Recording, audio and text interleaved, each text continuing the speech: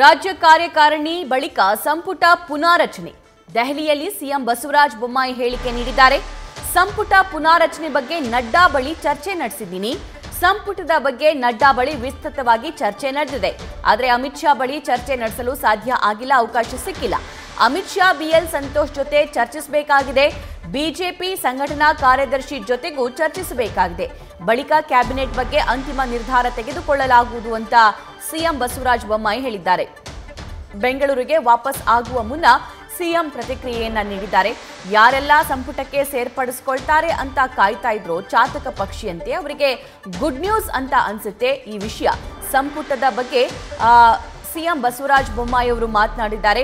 J P Nadda ಅವರ ಜೊತೆ ಮಾತನಾಡಿದ್ದೀನಿ. ಆದರೆ ಅಮಿತ್ ಶಾ ಅವರ ಜೊತೆ ಮಾತನಾಡೋದಕ್ಕೆ ಸಮಯ ಸಿಕ್ಕಿಲ್ಲ. ಬಿ ಎಲ್ ಸಂತೋಷ್ ಜೊತೆಯೂ ಕೂಡ ಈ ಬಗ್ಗೆ ಚರ್ಚೆ ನಡೆಸಬೇಕಾಗುತ್ತೆ. ಆ ಚರ್ಚೆ ಆದ ನಂತರ ಅಂತಿಮ ಕರೆಯನ್ನ ತೆಗೆದುಕೊಳ್ತೀವಿ ಅನ್ನೋದನ್ನು ಹೇಳಿದ್ದಾರೆ ದೆಹಲಿಯಲ್ಲಿ ಸಿಎಂ ಬಸವರಾಜ ಬೊಮ್ಮಾಯಿ. ಹೇಳಿಕೆ ನೀಡಿರೋದು. ಸಂಪುಟ ಪುನಾರಚನೆ ಬಗ್ಗೆ ನಡ್ಡಾ ಬಳಿ ಚರ್ಚೆ ನಡೆಸಿದ್ದೀನಿ ಅಂತ ಹೇಳಿದ್ದಾರೆ. ಹದಿನಾರು, ಹದಿನೇಳು ನಡೆಯುವಂಥ ಕಾರ್ಯಕಾರಿ ಸಮಿತಿಯ ಬಗ್ಗೆ ಕೂಡ ಸಂಪೂರ್ಣ ಚರ್ಚೆ ಆಗಿದೆ.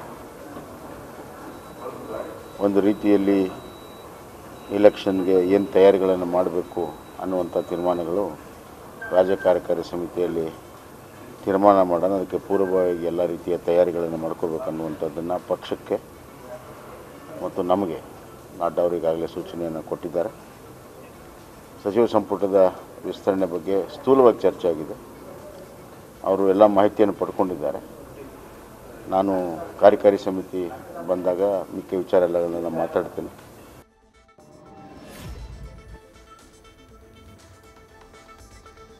ನಮ್ಮ ನವದೆಹಲಿ ರಿಪೋರ್ಟರ್ ಈ ಡೆವಲಪ್ಮೆಂಟ್ ಬಗ್ಗೆ ಡೀಟೇಲ್ಸ್ ನೀಡ್ತಾರೆ.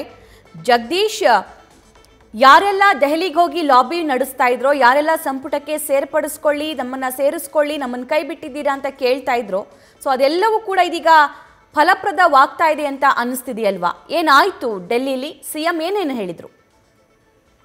ಸಭಾ ಕಳೆದ ಎರಡು ದಿವಸಗಳಿಂದನೂ ಸಹಿತ ಸಿಎಂ ಬಸವರಾಜ ಬೊಮ್ಮಾಯಿ ನವದೆಹಲಿಯಲ್ಲಿ ಹೈಕಮಾಂಡ್ ನಾಯಕರ ಭೇಟಿಗೆ ಕಾಲಾವಕಾಶವನ್ನು ಕೇಳಿದ್ರು. ನಿನ್ನೆ ಎರಡು ಬಾರಿ ಕಾಲಾವಕಾಶ ಸಿಕ್ಕಿದೆ. ನಿನ್ನೆ ಬೆಳಗ್ಗೆ ಒಂದು ಸಾರಿ ಅಂದ್ರೆ ಜೆ ಪಿ ನಡ್ಡಾ ಅವರಿಗೆ ಜೊತೆ ಮಾತನಾಡೋಕೆ ಅವಕಾಶ ಸಿಕ್ತು. ತದನಂತರ ನಿನ್ನೆ ಸಾಯಂಕಾಲದ ಮೇಲ್ಪಟ್ಟು ಸಹಿತ ಭೇಟಿಗೆ ಅವಕಾಶವನ್ನ ಸಿಕ್ಕಿತ್ತು.